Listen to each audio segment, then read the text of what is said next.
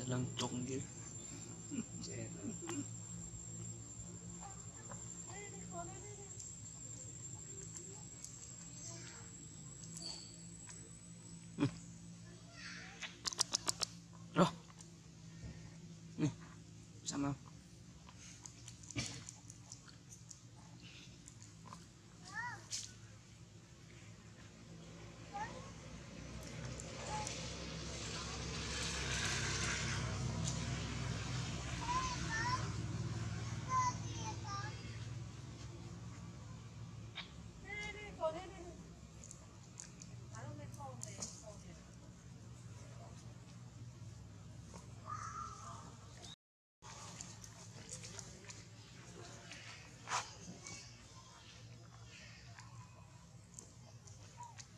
Rồi rồi.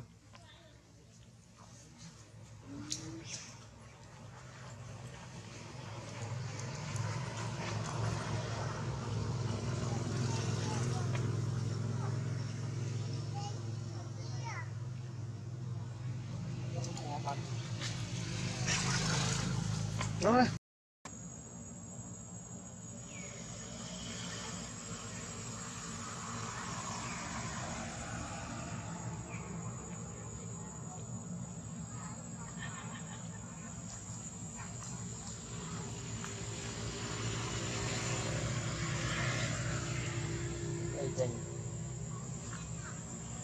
coi luôn